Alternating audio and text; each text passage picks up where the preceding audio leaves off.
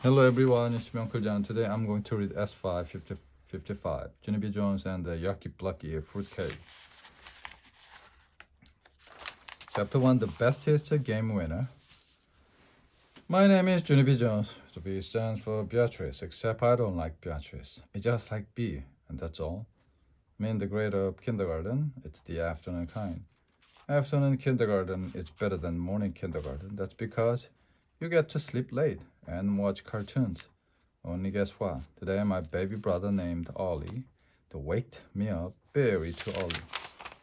He was screaming for his bottle. But screaming is not polite. And so he needed some discipline, I think. I sat up in my bed. Hey, shut up your face, I hollered. Mother opened my door speedy quick. Her eyes were angry at me. Junie B. Jones, what do you think you're doing? She growled. I hid it from her under my sheet. I think I'm doing discipline, I said kind of quiet. Please, Junie B, not today, said mother. Daddy and I need you to be on your best behavior. Boss have to go to work early and Grandpa Miller is coming to babysit. Just then I heard the front door open. Grandpa, it's my grandpa Frank Miller, I shouted.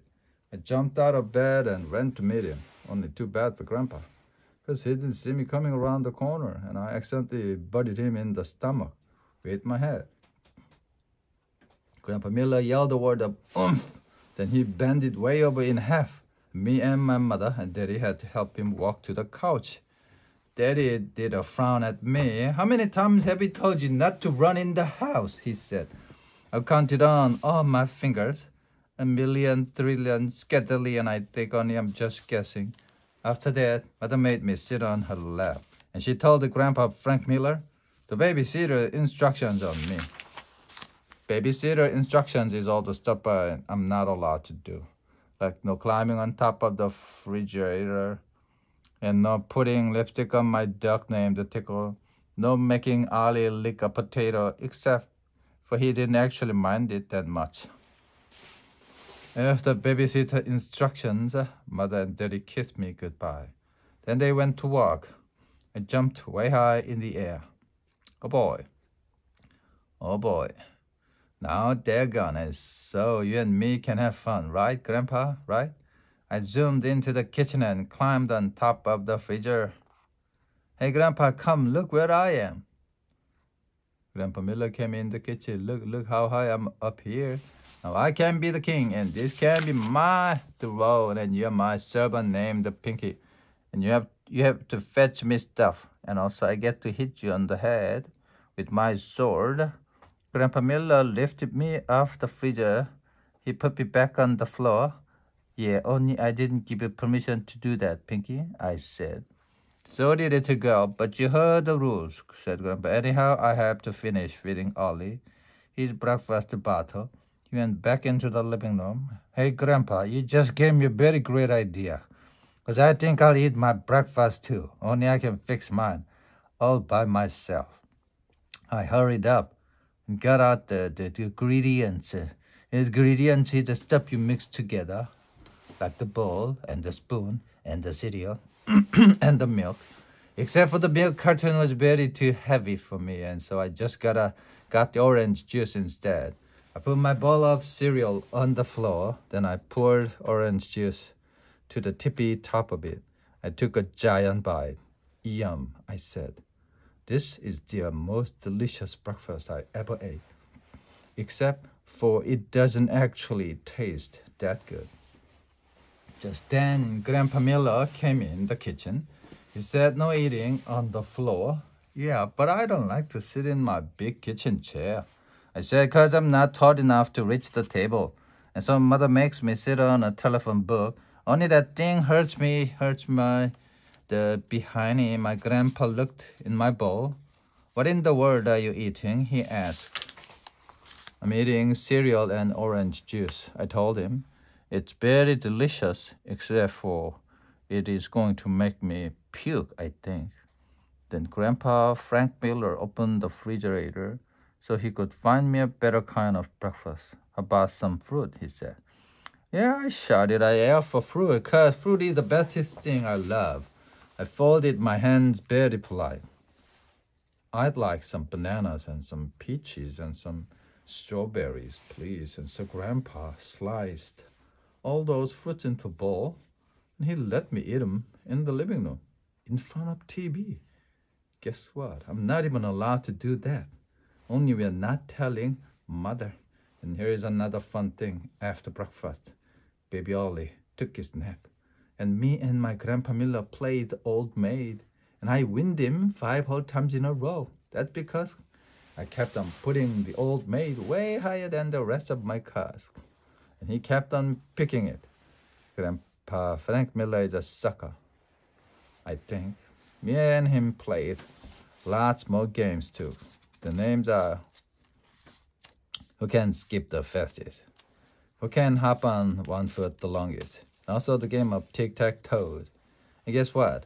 I win all of those games too. I'm the bestest game winner in the whole world, I said.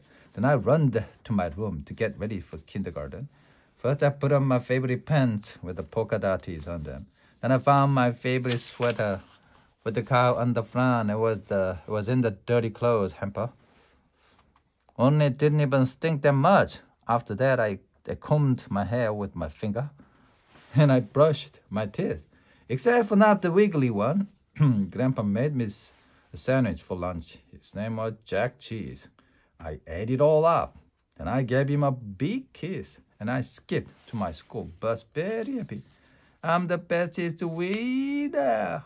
I'm the bestest winner. I sang real loud because winning is the funniest thing. Funniest thing I love. Chapter 2 Hopping and Racing and Tic Tac Toe. I ride the school bus with my bestest friend named Grace. She has curly black hair. That's my favorite kind of hair. Also, she she has pink high tops with big fit in them. The Gracie's a lucky duck, I think.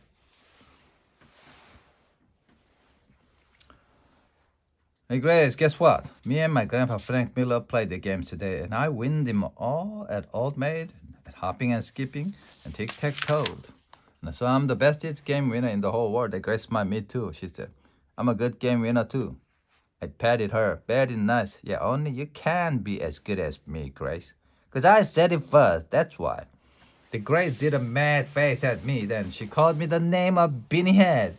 I patted again. You don't take criticism that well, Grace, I said. Just then she got out a pencil and paper from her backpack. She drew a tic-tac-toe. Now we'll see who the bestest winner really is, she said. I got X's, I hollered. I got O's, she hollered. I go first, I hollered. I go second, she hollered. Then me and her played the tic-tac-toe, tic-tac-toe, three in a row. I yelled very fast. See, Grace, see, I told you I'm the bestest winner. The Grace looked at the paper. But your X's aren't in a row, Judy B. I did a huffy breath at her. I know they're not in a row, Grace. That's why I made a curvy line to connect them. The Grace jumped up. Cheater, cheater, that's cheating, she shouted. The X's have to be in a straight row. She passed out tic-tac-toe all around the bus. All the other kids called me cheater too. Plus, a mean boy named Jim called me the name of Nutball. I hate that guy. After that, I scooted way over next to the window all by myself. I should have took oaths. I whispered, very disappointed. Pretty soon the bus pulled into my school parking lot. I hurried off that thing's speedy kick. Hey, Johnny B, wait up! yelled that Grace. You and me can skip to the swing. Sat together, wanna? And so all of a sudden, I felt happy inside again because skipping is my bestest game. I could her at that, I think. Hey, Grace, I holler, you and me can have a skipping race. The first one to the swings is the winner. I took a big breath. Ready, get, set, go. I shouted, except for that Grace wasn't actually off the bus yet. Only that's not my problem. I skipped as fast as a speeding rocket. I'm winning, I'm winning, I shouted Betty through, but just then the Grace skipped right past me. Hi, Genevieve. Bye, Genevieve, she said. Then she touched the swing set before I did.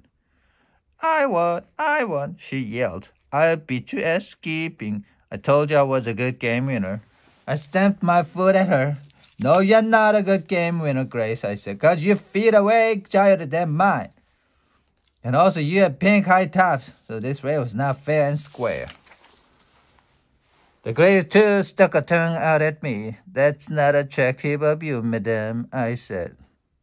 Then I turned around and saw my other bestest friend named Lucille. I don't to her spirit Hey, Lucille, it's me. It's your bestest friend, B. Jones. Let's not play with that grace, okay? Let's just play by ourselves. Because you and me can have a hopping contest and we can see who the best is hopper. Lucille flopped her lacy dress. Okay, but I'm not allowed to get sweaty. And also, I must be careful of my fingernail. She showed them to me. See, the manicure lady painted them apricot eyes. See how uh, beauteous they are? Yeah, yeah, whatever. I said, that looking. I took a giant breath. Ready, get set, go! I shouted. Me and Lucille started hopping on one foot. We hopped and hopped and hopped. Once it wasn't as fun as hopping with the Grandpa Miller, on account of Lucille didn't get tired and fall over. Look, Jenny said Betty squealy. Look how bouncy I am. This is fun, isn't it? I wiped my sweating head. Yeah, only it would be funny if you tell or if you fell over now, Lucille, because I just had a skipping contest with that Grace. And I'm a little uh, pooped here. Look, Genevieve, she said again. Look how my fluffy skirt bounces over my head. When I hop way high, my face felt hottish and reddish. I can see your underpants, Lucille, I told her. Only that dumb Lucille didn't even care if I could see her underpants. Just kept on hopping and hopping. Finally, I got tired and fell over. Yeah, yeah, I shouted Lucille, I'm the winner. I'm the winner of hopping. Just then the school bell rang, and everybody ran to room 9, except for not me. I walked very slow all by myself. Mrs. was standing outside room 9. Mrs. is the name of my teacher. She has another name too, but I just like Mrs. and that's all. She smiled at me.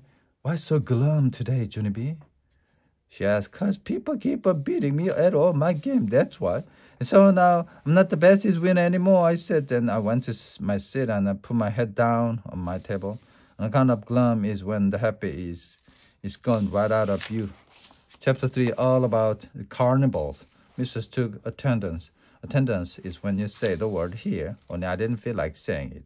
So I just raised my hand, very flimsy. Are you feeling all right, Jenny Mrs. says, she's okay, Roselle. She's just mad because I beat her at hopping. Yeah, only I already explained that to you, madame. I shouted at Lucille's face. Mrs. clapped a hand, clapped the loud hands at me. Jenny B. Joe, that'll be enough of that, she said. I put my head on my table again. This day is a bummer. I whispered to just myself. Mrs. stood up at her desk. Boys and girls, may I have your attention, please? I like to take I like to talk to you about a special night coming up at school on Friday. It's called Carnival Night. Does anyone know what a carnival is? I do. I do, said that Jim I hate. Carnival is like what they have at the state fair every year. There are lots of rides there, like the Ferris wheel, the tilt-a-wheel, and the bumper cars. Yeah, and there's a shooting gallery with fake dogs says Jamal Hall. And there's cotton candy that, that Roger tastes by eating big black holes in your the protective tooth animal. Little boy I love named Ricardo. Ricardo's mother is a dentist, I think. After that, a crybaby cry baby boy named William stood up, very shy, and he said one time he rode a scary roller coaster and he didn't even cry that much except for he accidentally threw up his chili dog. Then Paulie Allen Puffer told about carnival food that he threw up too. Oh, like a candy apple and caramel popcorn and a rubber band. Except for that is not food. That is, uh, that is office supplies. I raised my hand. Carnivals are, are rip-offs, I said. Because one time my daddy kept on trying to knock over three bottles with a ball. But even when he hit them, they wouldn't fall down. So then he and mother had to call the cops. And also I witnessed news at 6 and 10. Mrs. laughed out loud. Yeah, only that's not a laughing matter, I told her. She stopped smiling. No, of course it isn't, she said. But I promise that nothing like that'll happen at our school's carnival night, Genevieve. All the games are going to be run by the parents and teachers. There will be hundreds of prizes to win. I sat up a little bit straighter. Hundreds? I said hundreds, she said. Yeah, only I don't even know how to win them, I said. And so Mrs. got out a piece of paper. They told all about the carnival game. Well, let's see. She said, said there will be fishing booth, a penny toss, moonwalk ten, a pudding green, putting green, clothespins in the bottle, basketball shoot, ring toss, and a booth where you can throw wet sponges at a principal's face. Just then, room 9 started laughing very much because throwing sponges at principal is a dream come true. That's why. They also say, it also said that Mrs. Hall, the art teacher, will be painting faces in the art room. In our very own room 9, there is going to be a cake walk. I jumped right out of my chair. Hey, guess what? Walking on cake is the funniest thing I love. Because one time, at a picnic, I, start, I stepped on my grandpa's little Debbie snack cake with a bare feet. And the creamy feeling was very squishing between my toes.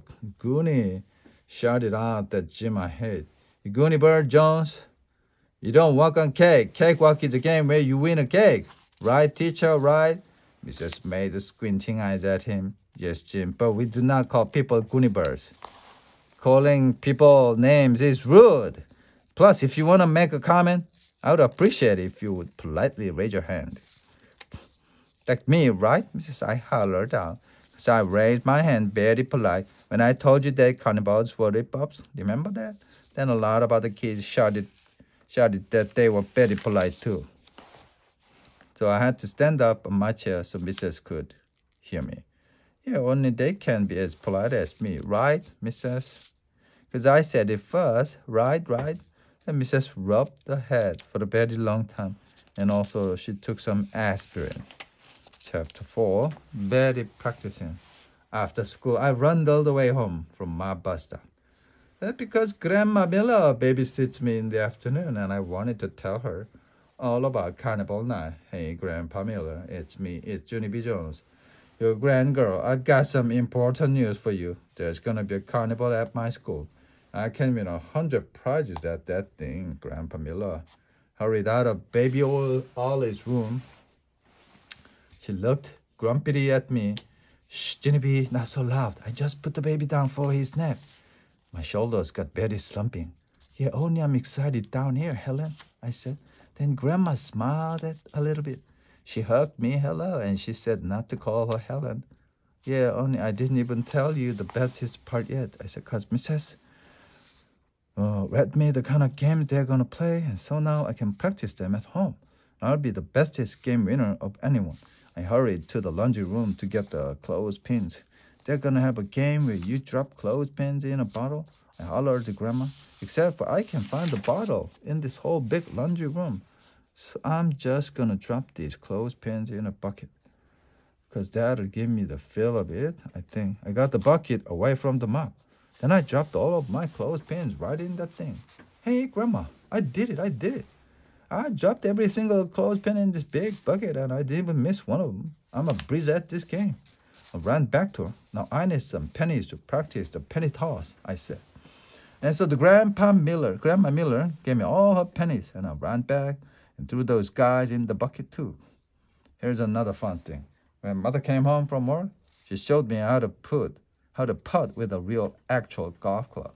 Only no golf balls in the house. So I just putted a, a grapefruit and also a dinner roll. And guess what? That night at dinner, I didn't even growl about sitting on the telephone booth because everything was going my way. That's why. After we ate, mother and daddy, they cleaned up the dishes together. They weren't even paying attention to me. That's how come I sneaked into the bathroom to practice another game. Its name is throwing sponges at principal. I got the sponge from under the sink, then I made it soaky wet with water. Ready, aim, fire, I said. Then I throw the sponge with all my might. it splashed right in the middle of the toilet pot. Bullseye. I met a bullseye. I hollered real excited. Only just then I heard a knock at the door. Judy what are you doing in there? Open the door. Oh no, it was mother was in big trouble, I think. I was in big trouble, I think.